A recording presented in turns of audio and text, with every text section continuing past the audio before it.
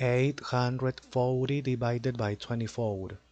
8 is less, therefore next. 84 is not less, therefore with 84.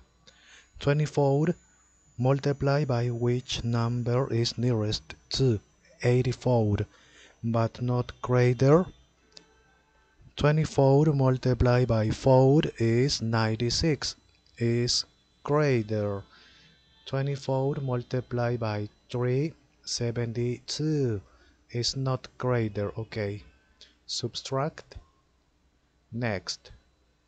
120 multiplied by 5 120 is not greater okay. Subtract. 0 next. That is not number therefore finish it